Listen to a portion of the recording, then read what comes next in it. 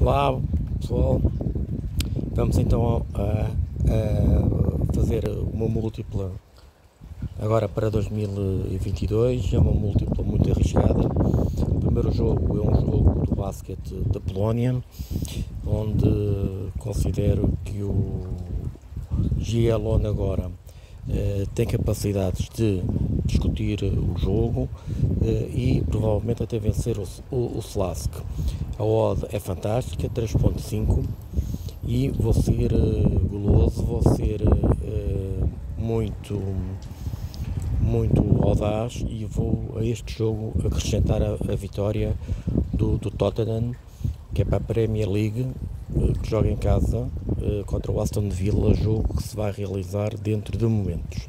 A cota da vitória do Tottenham está a 1.67 Uh, e esta múltipla uh, vai gerar ou gera uma, uma, uma odd final de 5.84.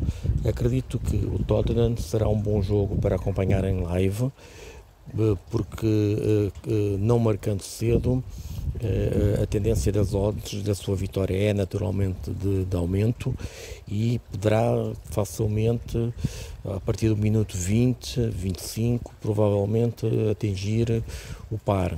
Uh, e com isto voltar a arriscar na vitória do, do Tottenham.